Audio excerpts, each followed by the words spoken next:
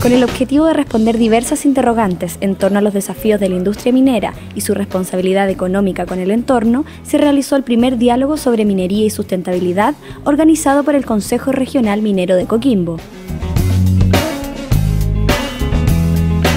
Minera Los Pelambres dictó la primera charla del encuentro, abriendo un espacio para la reflexión y presentando su reporte de sustentabilidad 2013 informe emitido por octavo año consecutivo y que releva los principales hitos y desafíos de la compañía, destacando sus relaciones con la comunidad y el desarrollo de diversas iniciativas sociales.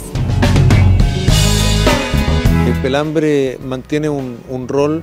eh, un poco más allá de lo social, anda buscando siempre nuevas tecnologías y nuevas instancias para ir en mejora del medio ambiente, las comunidades, de capacitaciones, eh, temas de humanos. En materia medioambiental, Los Pelambres expuso las acciones realizadas junto a la comunidad en torno a la eficiencia y cuidado del agua, destacando además sus avances en materia de recirculación del recurso hídrico, que durante 2013 alcanzó un 85%. El informe recoge un desafío que cómo somos capaces de equilibrar el desempeño económico con eh, los requerimientos eh, ambientales y también sociales o comunitarios. Económica y laboralmente, el reporte da cuenta de la generación de empleo local que ha realizado Los Pelambres, señalando que durante el 2013 el 56% de los trabajadores directos eran personas de la región de Coquimbo y más de 500 de sus proveedores correspondía a habitantes de la zona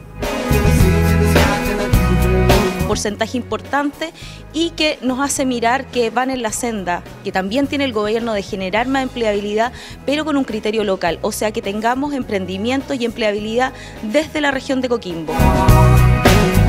primer diálogo sobre minería y sustentabilidad que congregó autoridades de la región, directores de medios de comunicación y ejecutivos de distintas compañías que tuvieron la oportunidad de reflexionar en torno a la industria minera y su responsabilidad social.